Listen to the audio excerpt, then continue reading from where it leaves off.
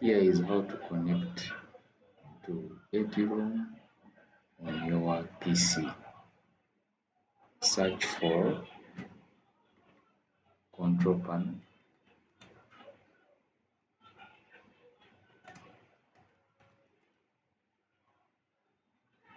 Open control panel. Click on network and sharing center select set up a new connection or network then select manually connect to wireless network click next. Under network name type eduroam.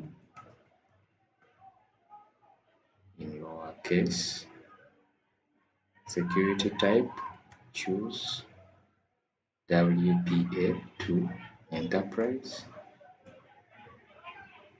Click next. Select change connection settings. Click security.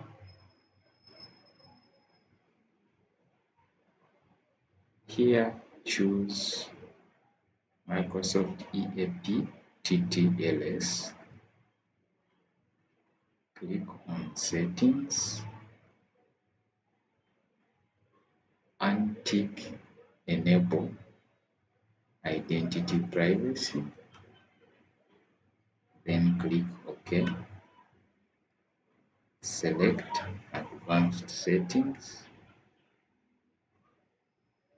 Here, tick specify authentication mode and then choose user authentication.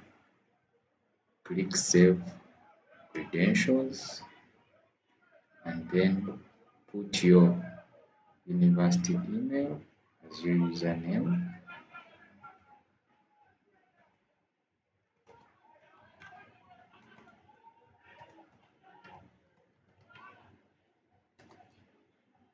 and then put your password for that email.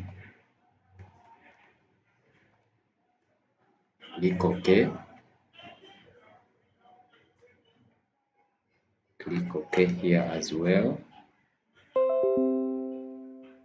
If you receive a prompt click connect. Then click connect to Eduroam and then you are fully connected. Thank you.